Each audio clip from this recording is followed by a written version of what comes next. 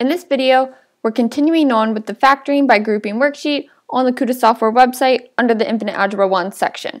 We're going to group the first two terms together in number 11, and we're going to group the last two terms. However, I'm going to add a negative 5v as opposed to subtracting a positive 5v, since that is the same thing. In the first two terms, I can take out a 4v squared, since that's the greatest common factor, or the GCF. Taking out a 4v squared, I'll have v minus 3. 4v squared times v is 4v cubed. 4v squared times 3 is 12v squared, and there's subtraction in between. Next, I'm going to take out a negative 5. When I take out a negative 5, I'll be left with 1v, or v, and I'll have to subtract 3, since negative 5 times 3 is negative 15, and subtracting a negative 15 is the same as adding a positive 15. Now, I have a common binomial between those two terms, so I will take out the v minus 3. That'll leave me with 4v squared plus negative 5, or minus 5, 4v squared minus 5, times v minus 3. And that is my solution in number 11. And remember, since multiplication is commutative, we could also say v minus 3 times 4v squared minus 5. Either is correct. And you can see 4v squared will get multiplied to v minus 3, and 5, or negative 5, will get multiplied to v minus 3 as well. And number 12, grouping the first two terms together and the second two terms together, the GCF between the first two, or the GCF within my first grouping, is 7x squared. 7x squared multiplied to 7x will give me 49x cubed. 7x squared multiplied to 5 will give me 35x squared. And then that will get added to the GCF, or greatest common factor, of the second grouping, which is 8. 8 times 7x is 56x, and 8 times 5 is 40. Now that I have a common binomial, I'll factor that out. So I'll have 7x squared plus 8 times 7x minus 5. 7x squared plus 8 times 7x minus 5 is my solution in number 12. In number 13, I'll add a negative 56p and I'll change this to adding a negative 35. I'll group the first two terms together and then I'll group the second two terms together. The greatest common factor among the first group is a 3p squared. 3p squared times 8p will give me 24p cubed, and 3p squared times 5 will give me 15p squared. And then in the next group, I'll take out a 7. And that 7, I'm going to take it out as a negative 7 so that I get positive terms within the parentheses. So negative 7 times 8p gives me negative 56p, and negative 7 times 5 will give me negative 35. Now that I have a common binomial, I can write this as 3p squared minus 7, or plus negative 7, times 8p plus 5. And number 14, grouping the first two terms together, I'm going to change this subtraction to adding a negative, and then I'll group the second two terms together, just because I'm more comfortable with having addition between the groups. Now, in the first group, I can factor out an 8r squared. That is the greatest common factor between those two. 8r squared times 3r will give me 24r cubed, and 8r squared times 8 will give me 64r squared. And that will get added to, I'll take out a negative 7, and when I take out a negative 7, negative 7 times 3r is negative 21r, and negative 7 times 8 is a negative 56, but if I'm subtracting that 8, that's the same as adding the positive 56 above. So I have a common binomial that I can now factor out. 8r squared minus 7 times 3r minus 8. That is my solution in number 14. Number 15 is slightly different because now we have multiple variables. However, we're still grouping the first two terms together and the second two. And I like to change this to adding a negative, and I'll also change this to adding a negative. So the greatest common factor now, I can pull out a positive 7, And I can also pull out an x, since x is in x times w, and x is also in x times k squared. 7 goes into 56, 7 goes into 49, x goes into x, and x goes into x. So pulling out a 7x, I'll be left with 8w plus 7 times k squared.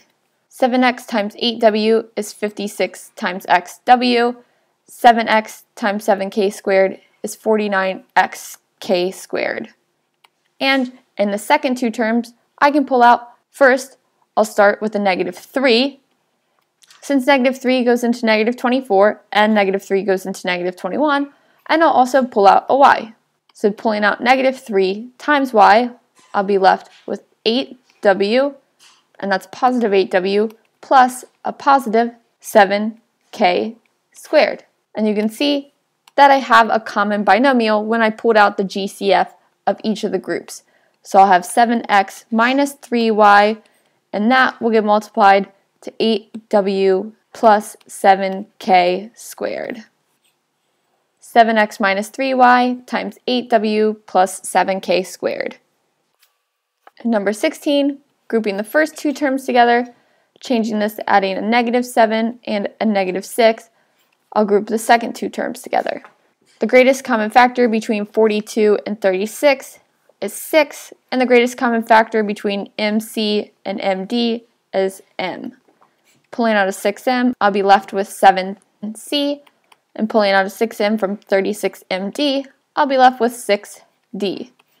And that will get added to, I can pull out an n squared from both of these terms, but I'm going to pull out a negative n squared so that my terms within the parentheses are positive. So that'll leave me with a positive 7c and a positive 6d.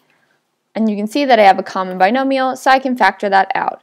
6m minus n squared times 7c plus 6d. That is my solution in number 16. In number 17, grouping the first two terms and grouping the last two terms, I have an x squared in common, and I have a 3 in common. So I can pull out a 3x squared. That'll leave me with 4u plus 1v, or simply v. Now I want to also have 4u plus v, and I know that I will get that if I pull out the greatest common factor in the next terms.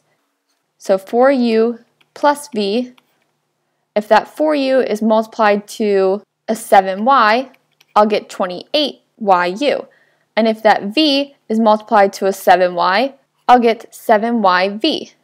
So since I pulled out a 7y and a 3x squared and I have a common binomial, I can now write this as 3x squared plus 7y times 4u plus v. That is my solution in number 17. 3x squared plus 7y times 4u plus v.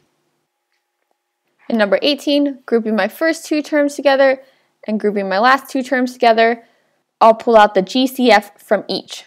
Both 40 and 25 are divisible by 5, so I can pull out a 5 from both of those, and I have an A in common. So I can pull out a 5A, that'll leave me with 8C squared plus 5K squared. Since 5A times 8 c squared is 40ac squared, and 5a times 5k squared is 25ak squared. And then the greatest common factor among the next grouping is a 4, and it's a 4b.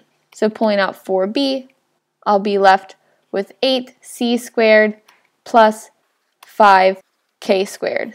Now that I have a common binomial, since I pulled out the greatest common factor, I'll have 5a plus 4b times 8c squared plus 5k squared.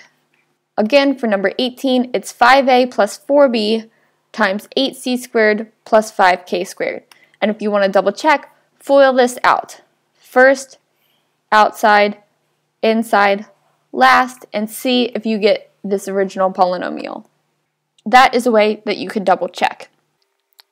Now on to our last problem. In this video, I'll go over number 19. However, before I start 19, I'll change all my subtraction to adding negatives. And don't forget to subscribe to my channel and like this video. Grouping my first two terms and my last two terms, and my first two terms, I have a b in common, and I also have a 4 in common. So if I pull out a 4b, I'll get 3c plus a negative or minus a positive d. Since 4b times d is 4bd, and adding a negative is the same as subtracting a positive. And my next grouping, I'll pull out a negative 5, and I also have an x in common, so I'll pull out a negative 5 times x. That'll leave me with 3c minus d. I can write this as 4b minus 5x times 3c minus d.